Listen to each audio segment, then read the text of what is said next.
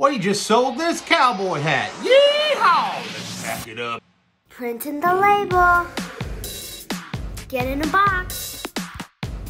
Extra tape. Extra packing paper to make it extra safe. Good.